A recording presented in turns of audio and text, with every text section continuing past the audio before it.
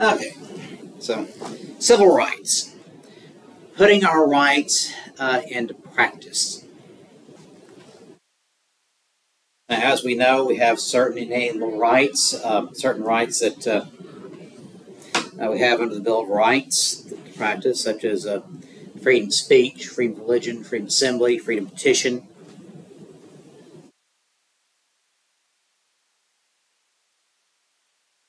Very important. And it's very important, particularly at a time like this in an election, because you have the right to pretty much say whatever you want, advocate for whatever a candidate you want, as long as it's done peacefully. All these uh, political ads you see on these different TV stations and radio stations, um, online, uh, uh, it is federal law that you cannot deny you're a broadcast outlet, you cannot deny someone um, a political ad. You can't um, you can't say, "Well, I don't like your politics. I'm not going to I'm not going to uh, not going to run it." Now you have to, whether you agree with it or not. That is uh, FCC guidelines. And the governor of Florida, Ron DeSantis, he got in some trouble recently. Uh, they have a big uh, abortion rights amendment on the ballot in Florida. Um, and uh, there was this one TV station in Florida who was running some ads from this uh, uh, group that's favoring favoring passage of this amendment. DeSantis tried to tell his TV station um, uh, not to not to run it or they'll get arrested. FCC uh, sent a uh, strong letter saying you can't do that. That TV station can run uh, can have the right to run that ad. You do not have the right to interfere. That's the way it is. You have to permit um, opposing viewpoints on podcast stations. Um, if they just have to buy an ad for it. But the other um, uh, civil rights liberties include uh, no unreasonable searches and seizures, um, standards for search warrants. Um, that by grand jury, no double jeopardy, no self incrimination, um, due process of law, speedy public trial, jury and trial in civil cases, no excessive bail or fines, no cruel and unusual punishments.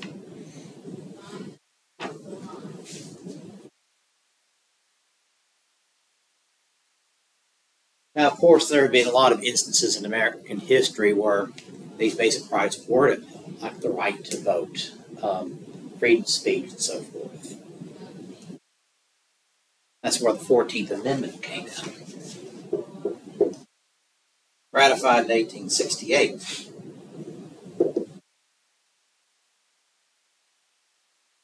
Which, among other provisions, there are several others here, but includes, among other things, that uh, all citizens have equal rights.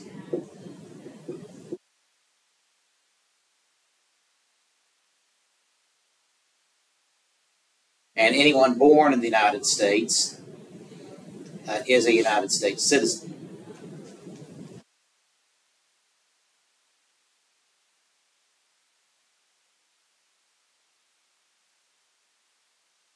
regardless of the citizenship status of their parents. And even if you're naturalized, this process of becoming a citizen, once you become a citizen, you already uh, have the full rights and privileges of everyone else.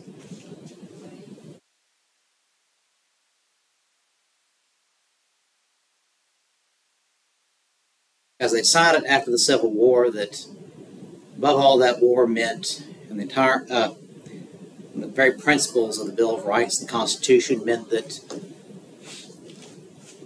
we must be equal under law. There can be no special privileges or restrictions, equality under law.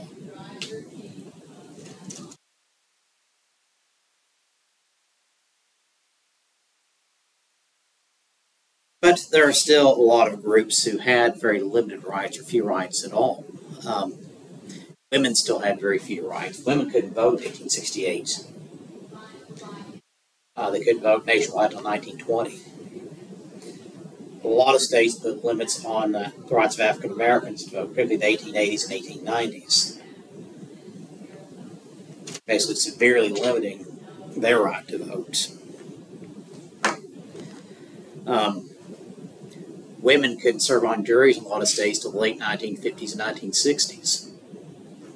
Mississippi being the last state to allow women to serve on a jury, and that was in 1968. I talked about all those movies last time. The uh, one of them being Twelve Angry Men, famous movie from 1957. Had a jury, but it's 12 men because in that state, in a lot of states, women weren't serving on juries yet.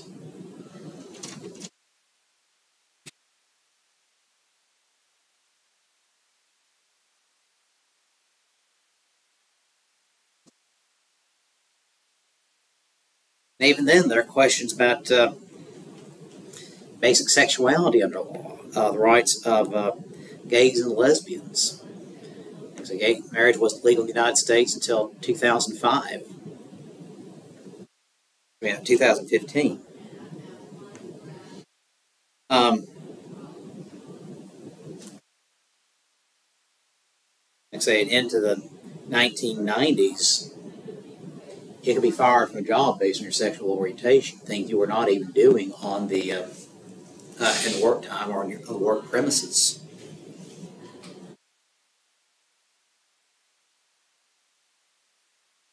But so much of American history and American political rights, these discussions over our basic rights, involve the question of race.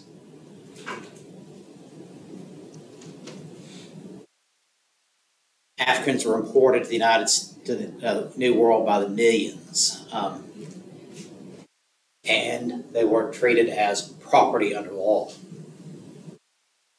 And even once they were freed, the freedmen had severely limited rights. There were a lot of people trying to turn back the clock and enforce slavery in a new way, calling it slavery. And then you had the birth of what came called the Jim Crow laws.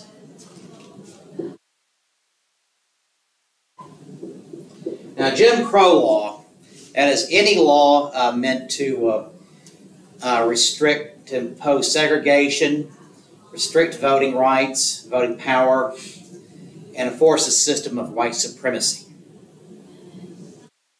Ultimately goes, goal is white supremacy. And these laws are mostly in the South, but you can find some of them in the North.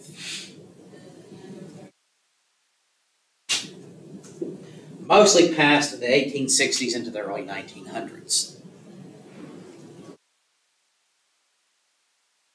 But among the most uh, common component here was segregation.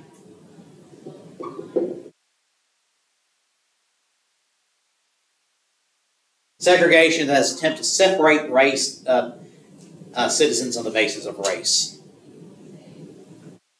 It meant pretty much any anywhere in public.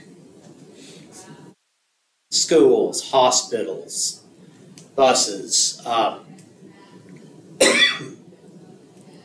trains, um, restaurants, um, hotels. Like I said, so many people had to uh, the humiliation seeing signs read whites only. Whites only this, whites only that. Um, people, uh, good, honest people who uh, just uh, looking to take their families out to eat at a restaurant or uh, just looking for medical care and told they weren't welcome there.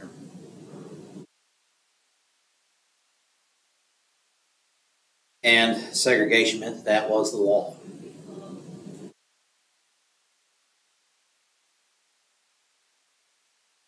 Now there are uh,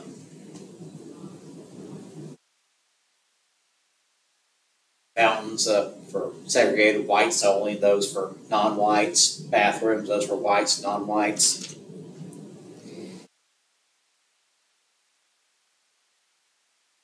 Some states uh, like Mississippi and uh, Georgia.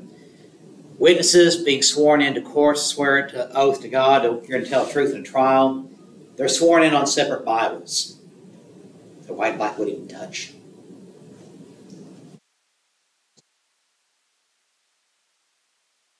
I've had a lot of students about uh, uh, they uh, they and the parents and things like that. That uh, there's one student telling me that uh, her parents, African American woman, her parents would not stop anywhere while they were out.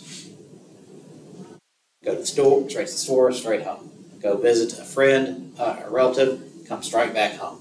Would not let them stop to go to the bathroom or anything because um, didn't want to have to see the uh, whites only signs. They'd never eat in a restaurant because uh, think these restaurants wouldn't serve them, but uh, just they just pick up something in the back. But we didn't get out of the car even mentioned why they were having to do that, so we would just rather go home. My grandmother, her first job was as a waitress in uh, Wichita Falls, Texas in 1940. She's 13 years old. And uh, one thing that really struck her was uh, one day they had uh, these two customers come by. Uh, one's this uh, big fat white guy who uh, came in, uh, down, spitting on the floor, cussing, screaming. Um, and the other was this elderly African American gentleman. Came up in his, he was train porter. Came up in his uniform, very polite, very dignified, very professional dress. Just asked if he could get something to eat. Um, just wanted to pay for it and everything, uh, obviously.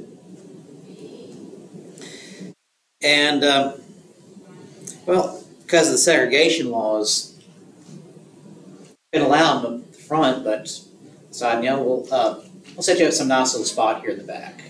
Nice tablecloth, a little seat there, just uh, we sat, he uh, had, a, um, had his lunch. Um, my grandmother was just really annoyed by that. Here's this nice, polite man who couldn't be served because of the law, but that fat, nasty man up, up front, cussing and spitting on the floor, had uh, could be served. I've had uh, African American students tell me how they grew up right across the street from a city park. They grew up in uh, Sulphur Springs, Texas. This is just Texas, it's all over the South. It's this beautiful playground across the street. You can see it, uh, all the playground equipment and everything. Couldn't go to it. Why? Segregated park. The park that his parents paid for with their tax dollars, he could not go to. But maybe on one or two days of a year, the city might let uh, uh, only blacks go there that one day. A lot of state fairs are like that. Uh, whites only most days, but might have one or two days it was for uh, um, African Americans. Schools are segregated. Um, well, it's now Washington Middle School across town here. That was the segregated uh, black high school up until the 1960s. Um, the Carver Elementary School across from First Baptist on Cordell Street. That was a segregated elementary school. An African American History Museum today. All the landmarks here and there. But there really are two types of segregation. De facto and de jure. Latin terms, de facto means by fact. De jure by law. Segregation in the South was de jure, uh, segregation de jure uh, by law, forced by law, criminal statutes. But in the North, you have a lot of areas it's de facto segregation, segregation by fact. Um, that there were just certain neighborhoods that um, whites and whites and blacks would live in that the two would not mix together. Now, there are several cases like Chicago that a black family tried to move into a white neighborhood and uh, um, the neighbors get a collection together, buy them out, keep them from coming into the neighborhood, or would um, um, cause a deer ride on their lawn, try to force them out of, out of their homes, and a lot of times that worked. Um, that leading to a novel called White Flight. That once a black family started moving into a neighborhood, white families would start leaving as quickly as they could. The segregation was not, not the law in New York or Chicago, but simply existed by fact. this famous civil rights activist and comedian named Dick Gregory was popular in the 1960s and 70s, once explained the difference between racism between the North and the South. He said, uh, in the South, they don't care how, North, they don't care, how big you get, as long as you don't get too close. Don't care how big you get, as long as you don't get too close. In the South, they don't care how close you get, as long as you don't get too big. Explain the difference here. In the North, is more the two would stay separate. Um, African Americans, uh, and other uh, minorities, been freed, uh, not largely, um, say, had no restrictions, but uh, no one really minded if uh, African Americans or uh, whites, never really minded if uh, African Americans or other minorities became successful. Um, as long as um, they stayed away from each other. But in the South, it was a matter of position. That um, African Americans and other minorities are also always supposed to be subservient. That is, they don't care how close you. That is, African Americans usually working for a white man or white woman in an employee-employer relationship. Maid, housekeeper, um, gardener, whatever else. Employee, employer-employee relationship. One is always above the other. Ever see that old movie, The Help? That really kind of touches on it. Uh, story about these African American maids in uh, um, Jackson, Mississippi in the late 50s and early 60s. Really good movie. really good book, too.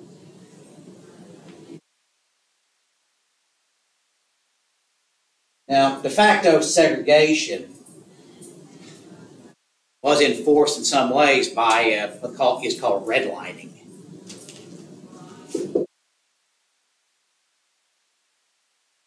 That as banks would uh, draw a big red line on a map and uh, not loan to African Americans or other minority groups to buy property uh, in certain parts of the city, certain neighborhoods. Is enforcing uh, through a discrimination loan making process, um, making sure that um, making sure that the races would not, um, that uh, the um, neighborhoods would not start mixing racially.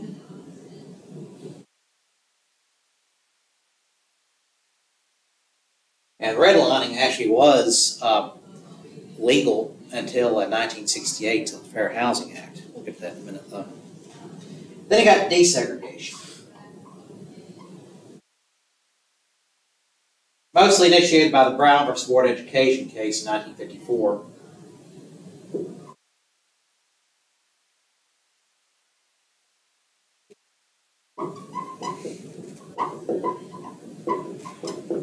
This is mostly the focus in the 1950s and 1960s. Simply the process of ending segregation allowing a handful of minority children to uh, attend a mostly white school.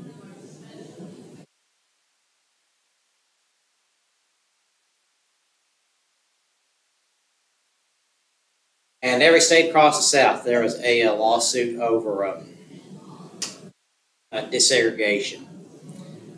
A lot of school districts, including districts here across Arkansas, um, Union County, they still under are under federal court orders regarding desegregation integration, uh, making sure that desegregation is not practiced at all.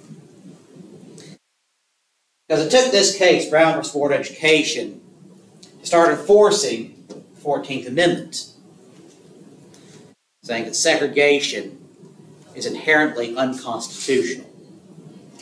You cannot uh, separate, uh, label and separate people by race. segregation. Why do they have the Like other law pertaining to that, to where like that. Why do they still have these federal court orders in place? Yeah. Because there are a lot of people who do everything they could to undo all this. Racism didn't disappear, it just became impolite.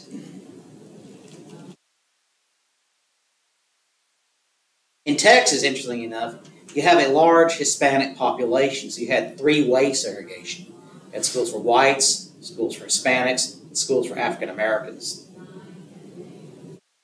Thing is, all these uh, multiple buildings and uh, redundant staff, uh, it weighed down schools in the South. Schools were actually falling further and further behind the North. They didn't necessarily practice segregation. But there were some states that practiced uh, different kinds of segregation, like uh, California for a while had uh, segregated uh, whites from Asians, uh, people from Japan and China coming to the West Coast. Um, and then you have integration.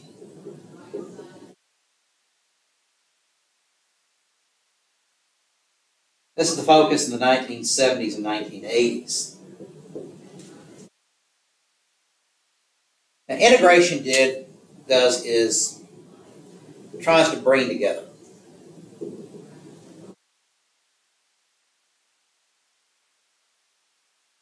For example, suppose you've got a community that is, let's just say, for sake of supposing, uh, one third white, one third black, one third Hispanic. Now, if there is no uh, discrimination in housing or employment, um, every neighborhood and every business should be roughly one third white, one third black, one third Hispanic, give or take a few percent. But because of housing discrimination, because of employment discrimination, minority communities usually were poorer than white communities. There were, were a lot of poor whites, but uh, um, larger number, percentage were poor. And um, they lived in segregated neighborhoods, segregated by fact or by law. So it meant that these schools that came up in these segregated areas, they were serving mostly black or Hispanic neighborhoods. So without uh, racism, uh, all the schools in that community, or uh, hypothetical community, would be one third white, one third black, one third Hispanic. But instead, what you saw in a lot of communities was school for schools that were like 99% white, 99% black, 99% Hispanic, were not representative of the community. So the effort in the 1970s, 1980s was to try to make these schools more representative of uh, their communities that were serving. Because after years, because uh, even though under segregation, the idea was separate but equal, equality was never practiced. Minority schools always had less of everything. Teachers were paid less. Equipment was always worse. School maintenance was not as much a priority. The books that minority children might get in these uh, segregated schools might be the 10 year old hand me down books from the white school, all ripped, ripped and torn up.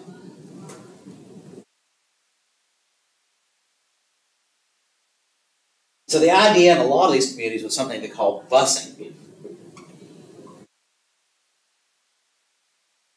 They basically start taking kids, start putting them in these other schools, try to uh, force the uh, community to integrate, the schools to integrate bring African Americans to children to uh, white schools, bring white children to African American schools, and so forth.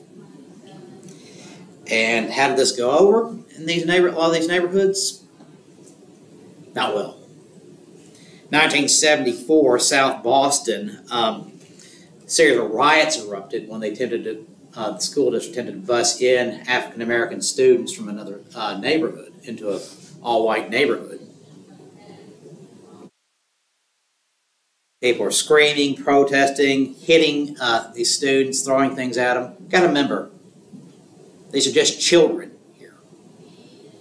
They're assaulting children over uh, the idea that they weren't uh, they were a different color, didn't want them in their uh, schools.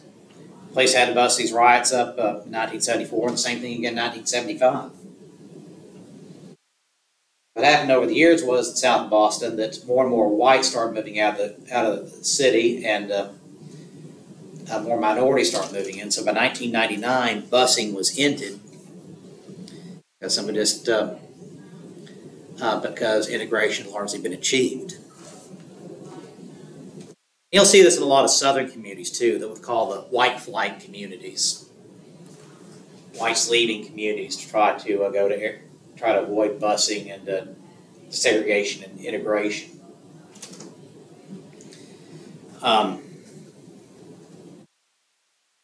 you see this a lot of uh, schools in West Little Rock and some of the surrounding suburbs. Those were uh, okay, white flight communities, especially in Dallas and Houston um, Plano, Richardson. Um, those were all tiny little farm towns in 1950 because but after a segregation and integration came in, the city population has just exploded. Today, uh, Plano would have been a city like 2,500 people in 1950s, like a city of about 300,000 now.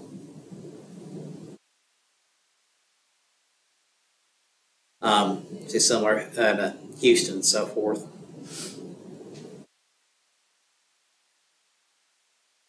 Also, controversial program called Affirmative Action. What's called Equal Opportunity.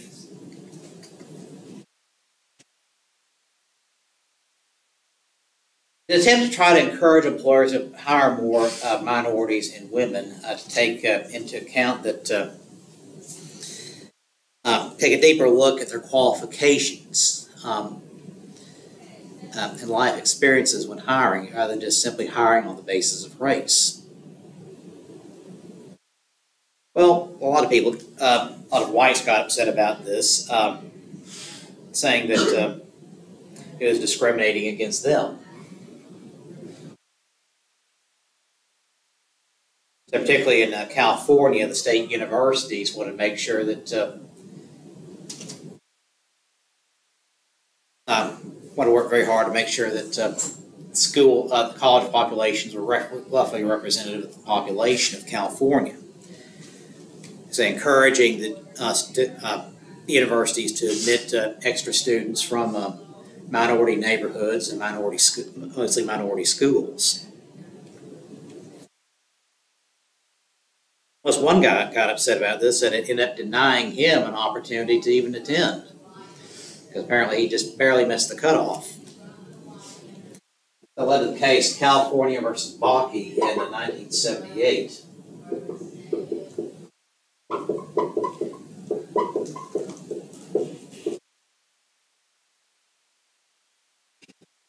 Um, they said that there, there could be no racial quota system for admissions to uh, universities.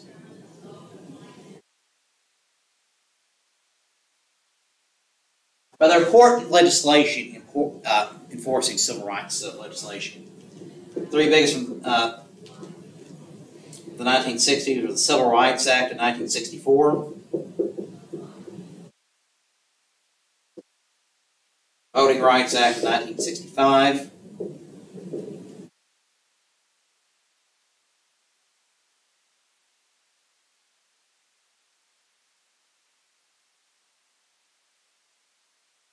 And third being the Housing Rights Act, the Fair Housing Act of 1968.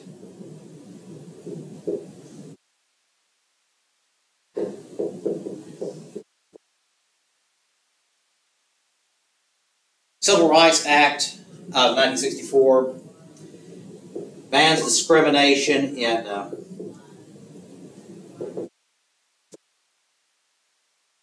housing, voting, um, employment, education.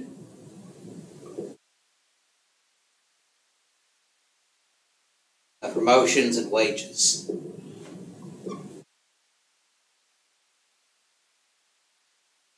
And said you cannot discriminate on the basis of uh, sex, uh, race, color, uh, uh, religious, uh, religious affiliation, or national uh, origin.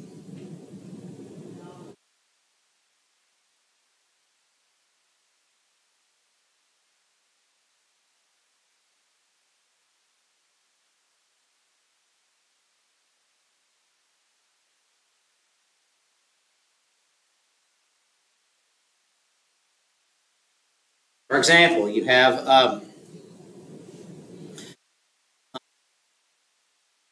going to hire somebody, you can't reject the jo- reject someone for the job because they're born in a different country. I can't make the choice based on whether a man or a woman or not, or whether black or white or not. So no discrimination on uh, these bases. Women, uh, until 1963, until the Equal Pay Act, women were could be paid less than a man for the same job.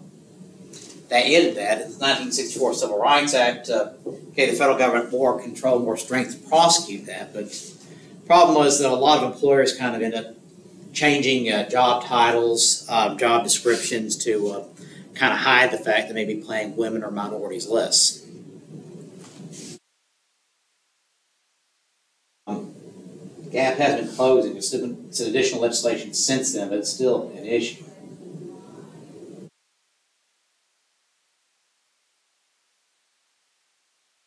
So this act here, the Civil Rights Act, basically ends the Jim Crow system. You cannot have segregation. You cannot have, uh, you cannot deny someone an education on the basis of race. Um, um, can't have segregated hospitals or hotels or anything like. Can't have these whites only sign on the doors anymore. That was illegal. Now, the Voting Rights Act, even though discrimination vo- voting was illegal, um, this strengthened the 1964 Civil Rights Act because there are ways because they knew there are kind of limitations in this law, but they need to go a little bit further, kind of tighten up any ways we might use to try to uh, get around it. A discrimination in voting, voter registration, represent uh, or political representation.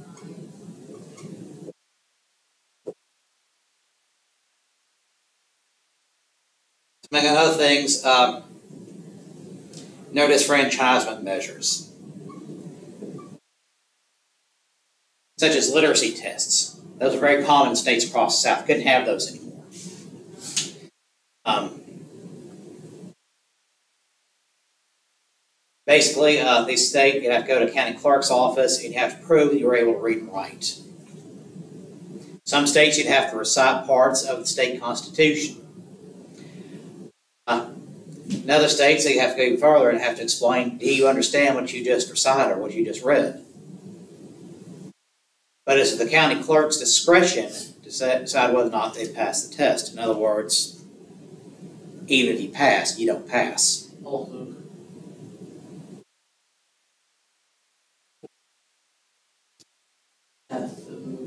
also, discrimination also causes people to not.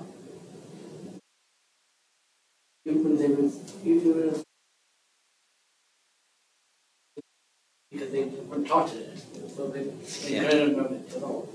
Yeah, uh, there was an interesting study done for the Brown of Education case. Um, a group of psychologists did some tests on African American children and noticed that uh, segregation had caused many minorities to have a very negative view of themselves. Um, uh, because of that, though, um, one thing schools uh, minorities were in were just simply not as good because they were not funded very well. Teachers weren't trained as well, weren't paid as well. Um, Mississippi uh, tried to fix that, what they call the school equalization laws, trying to put a bunch of money to African American schools and raising pay for African American teachers, but the court said too little, too late.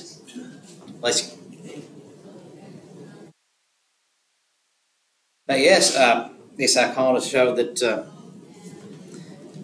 that minorities in the United States tend to be under a lot more pressure under whites, under a lot more social pressure because they don't know uh, um, if their rights are ever going to be enforced. They don't know what's going to come right around the corner. Um, they knew the base uh, minorities had to, a lot of minorities had to live with the idea that they're constantly being watched. They're constantly under a threat, constantly uh, um, potentially the next victim of, a, of an assault or lynching. And so, if you're under a lot of pressure, and society's trying to give you a bad self image, then yes, you're probably not going to do very well in school can't learn when you're under a lot of stress and have a lot of anxiety. All African Americans? No, but uh, notice is enough of a pattern for African Americans, uh, Hispanics, Asians, and others. And even sometimes with women in schools. Um, know, that's the kind of phenomenon sometimes seeing that uh, sometimes girls in schools will pretend not to be as smart in order not to uh, draw attention to themselves.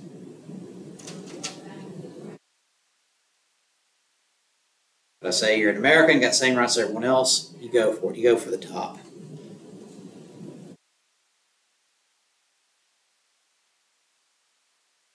But uh, Voting Rights Act, no discrimination and uh, voting, uh, voter registration. Um, make it a lot easier for uh, people to uh, register to vote, not just limiting it to certain times of year. Um, making sure that uh, um, voting locations were areas that were easily accessible to everyone. No poll taxes, even though those are already outlawed under the 24th Amendment. Uh, no poll taxes. And particularly with representation the idea of uh, one man, one vote was made the law of this act, which meant that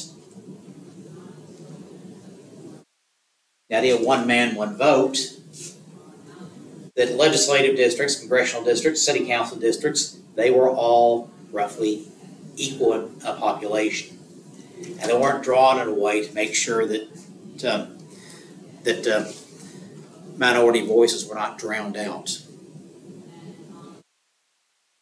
So that's still uh, something you do today. Um, up until recent years, the Supreme Court's trying to kind of mess with that a little bit, but uh, the that a lot of states would have to uh, submit their uh, maps for their uh, represent state representative and congressional districts to, federal, to the federal government for approval, make sure they weren't discriminating against minorities. That in a largely minority neighborhood, that a minority would have a reasonable chance of getting elected.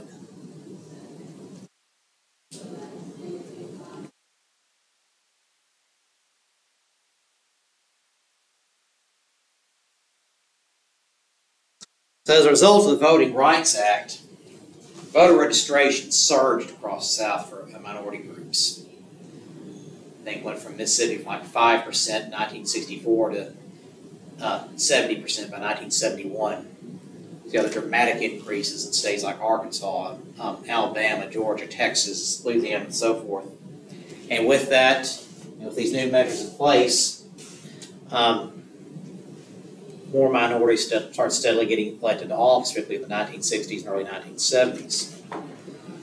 Uh, 1972, the first African American elected to the state legislature in Arkansas was elected for the first time since Reconstruction, nearly 100 years, because of the Voting Rights Act, uh, represented from Pine Bluff.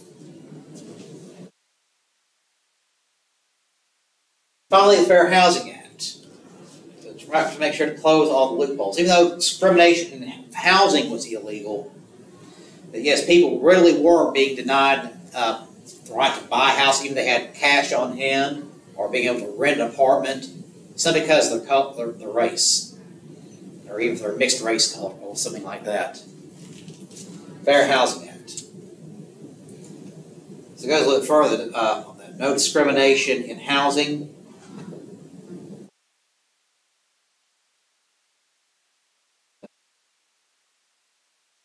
home purchases, lending, leasing.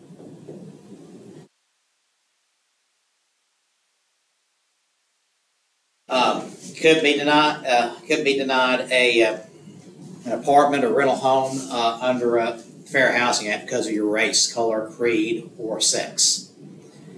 Um, there are a lot of women who, single women who uh, couldn't uh, uh, find a place to live because the apartment complex wouldn't uh, rent to single women. Or uh, the guy wouldn't rent the house out to a single woman. Um, on the basis of uh, race or color or religion. All that ended the Fair Housing Act. In fact, because of the Civil Rights Act of 1964, you can't even ask someone on an employment application, are you man or woman? What race are you? Uh, What's your age even? They include that information on a separate uh, Equal Employment Opportunity Commission form, which is voluntary to fill out. But basically, companies uh, take this information and uh, send it up to the federal government to show that, uh, making active efforts to try to recruit uh, women, minorities, and uh, um, other hiring rates. But it's just voluntary to fill out that form, and you can't look, and uh, when you're um, hiring somebody, you can't look at that form. The hiring committee can't look at that form. The Fair Housing Act, yeah, no a discrimination in lending. So redlining is illegal. Did you ever see these commercials about banks today about buying a home, come get a loan with us? That says equal housing lender at the end. That was the Fair Housing Act of 1968.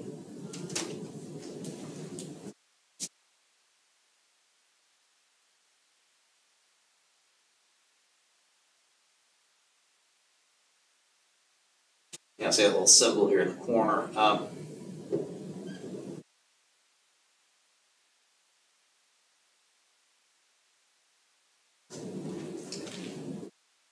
It's all part of the idea to make sure that uh, that everyone in this country is treated equally in the law. No one has any special privileges. Everyone is treated the same under the law.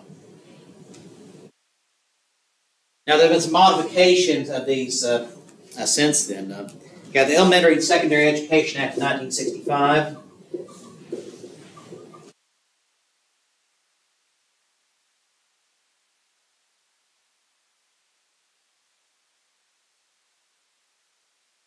All these, uh, Civil Rights Act here and the Elementary Edu- Secondary Education Act, uh, all under President Lyndon Johnson. But among other things, uh, al- also giving a lot of uh, uh, aid, federal aid to uh, colleges and public schools, was did more to try to make sure that um, schools were open to everyone. There wouldn't be any discrimination or segregation. Um, and even once integration uh, had been achieved, make sure that no one's being treated unequally. Um, for example, in the syllabus, we have to uh, we put in that statement saying um, the college does not uh, engage in or condone discrimination on the basis of race, color, sex, creed, national origin. As, a, as uh, our way of showing that we are upholding uh, our responsibilities of the Elementary and Secondary Education Act. And we have uh, routines and uh, procedures in place if discrimination does take place.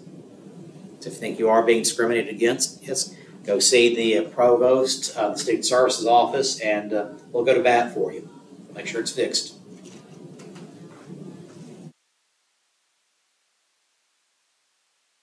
But uh, 1972, you've got a couple of other things coming in. Um, Title VII and Title IX. You see these emails here every so often. Uh, Title VII uh, said uh, no discrimination based on race, color, religion, sex, national origin, and jobs, particularly hiring, uh, salary, and promotions. Also, some other things, no retaliation. If you report this uh, discrimination, no one's going to come after you for it. No hostile environments. it is. you don't have a hostile. Um, no one's openly hostile to you on the basis of sex, race, or color. Um, you don't have people telling you nasty, racist jokes in front of uh, in front of people. Um, you don't have. Uh, this is a very common case in the 1980s. Uh, women would start uh, working these places, and they have a lot of men hanging these pornographic uh, pictures all over the office. Quit. Pornographic pictures. To make them quit.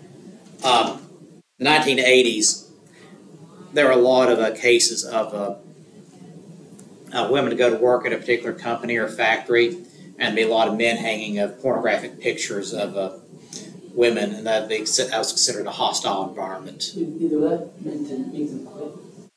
Yeah, it's meant to try to make them quit, or try to know that you have a certain position here, and it's you're not one of us.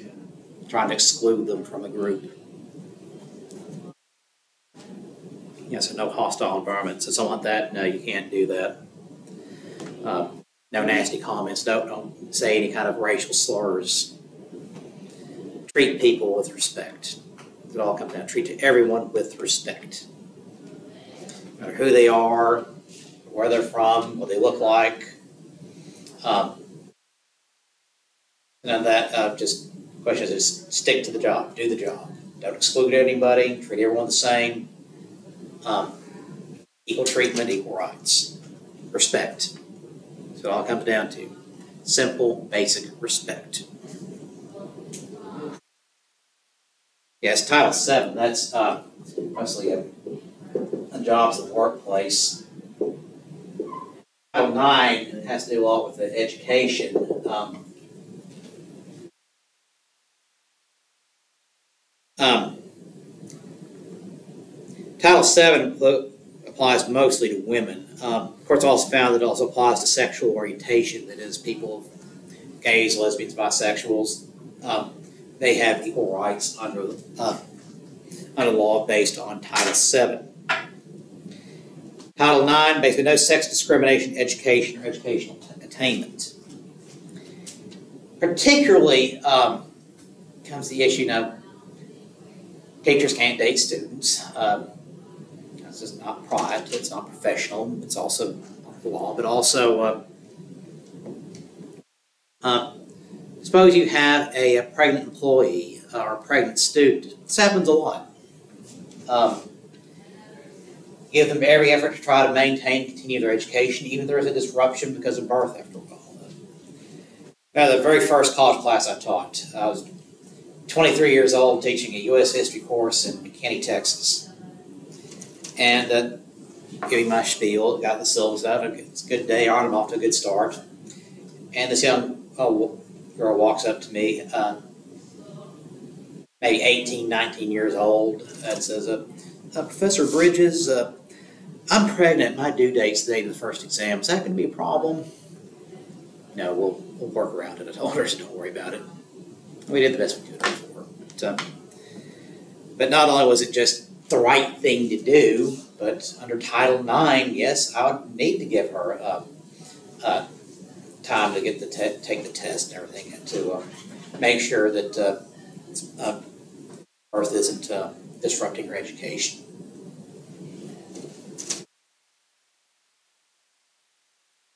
That's part of that.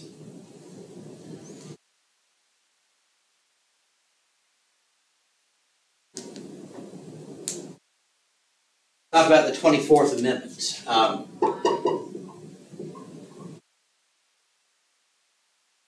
Nineteen sixty-five Voting Rights Act goes off of this, but uh,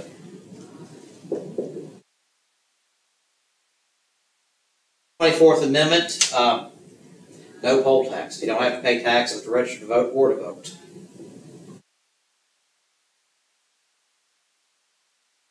It's in nineteen sixty-four. The Equal Pay Act of nineteen sixty-three.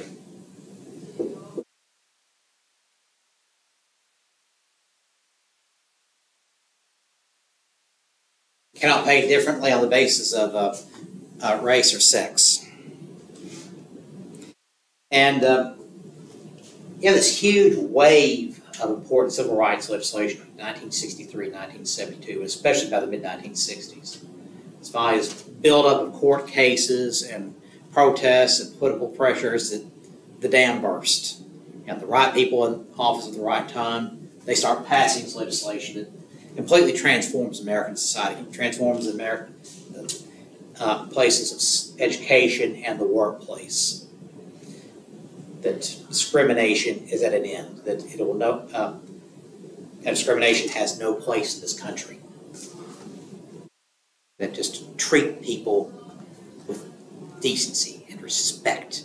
It's not that hard to do. It doesn't matter what you were taught for so many years, what the tradition was for so many years. You know what? You treat people with respect. That's all it comes down to.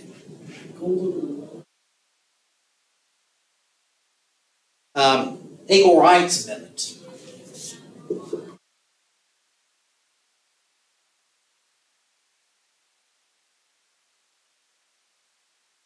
So, Women's Rights Act has been pushing this since uh, the 1920s, but it finally passes Congress in 1972. Remember the amendment process? Two thirds of both houses have to agree, three quarters of the states have to ratify. Well, two thirds of the houses agreed. Uh, two thirds of the houses agreed, and uh, it's sent to the states for ratification. What it says is there should be no discrimination on the basis of sex. And you might think, okay, Civil Rights Act, uh, shouldn't that cover it? Shouldn't the 14th Amendment cover that? Well, problem was for 100 years, it didn't.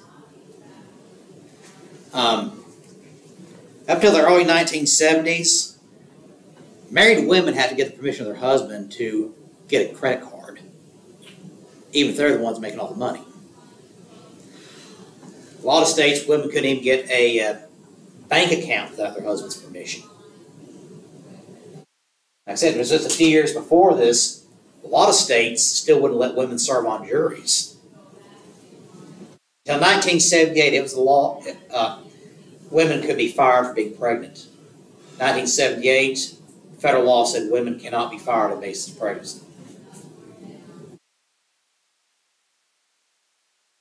Um, the sexual harassment in the workplace. Those court cases in the 1980s said, uh, and the uh, um, various uh, civil rights amendments said, no, that is uh, that is illegal.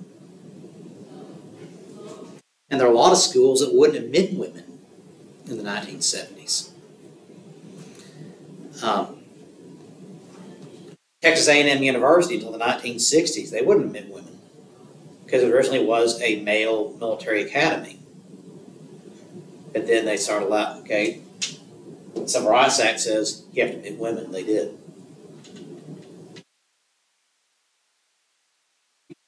Like, like schools, like camps and like that, how would that like apply to because women are American citizens and they can serve in these military academies too. Oh, it's a military academy. Yeah. But by, by, by the 1960s, A&M was less of a military academy, more of a regular university. They still would hardly ever admit women. I was thinking it was school. Yeah. like different schools. They had military academies. You know, women can serve in the military. That's part of what they said is um, women uh, can serve in the military in equal positions. Uh, any position a man can do, uh, women should, have the opportunity to do so as well.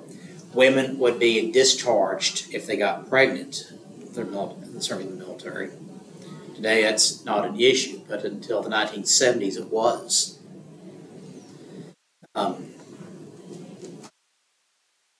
and there are a lot of women in service today. They have they're doing a lot of different jobs. Uh, they have a lot of talent. Um, they're physically and mentally able to do these jobs as well as anyone else. Um, maybe better than some men in a lot of cases. Um, they're serving our country and defending it proudly. They'd be in a rough spot if they weren't there doing that job.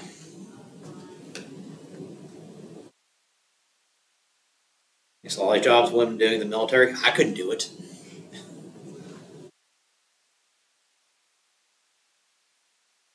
But that's the idea behind the Equal Rights Amendment. No discrimination basis of sex. None, none of these restrictions. Um, But um, by the mid 1970s, there was this massive backlash against the women's movement um, and against the civil rights movement. And so uh, the equal rights movement came like three states uh, short of a ratification. See, in the enabling legislation sending this uh, amendment out to the states, Congress said uh, it'll take se- uh, uh, the states have seven years to ratify this. So they kind of remember that uh, congressional pay kind of floating out there at this point. But uh, by 1979, it's still just three states short, 35 out of the 38. Yeah. They to try to extend a little further. Uh, so Congress passed a law saying we're extending the deadline to 1981. Didn't do that. Well, starting in the 1990s, a group of activists tried to revive this, and uh, they got three more states to ratify it. You know, that's after the 1981 deadline. And they're trying to get Congress to pass a law saying, you know what, we're taking away the uh, deadline on this and making this an amendment anyway. So it has two thirds of the, uh, um, both houses of Congress approved it, three quarters of the states have approved it. So that's kind of an illegal limbo. Oh, it's not? It's not actually an amendment, it was not ratified. It's just kind of legal limbo because of that piece of legislation Congress attached. It wasn't part of the wording amendment itself. But because there's a law attached to it, enabling legislation, that's why they could change the deadlines on it without having to re-vote on everything. So that's what these civil rights is that activists are saying is take away this uh, legislation that had put this uh, time limit on it, and legal hurdles are cleared, and we can ratify the, the ERA. That was a huge campaign in the 1970s, um, ERA now. And on the last of the major uh, civil rights acts were the Americans with Disabilities Act of 1991.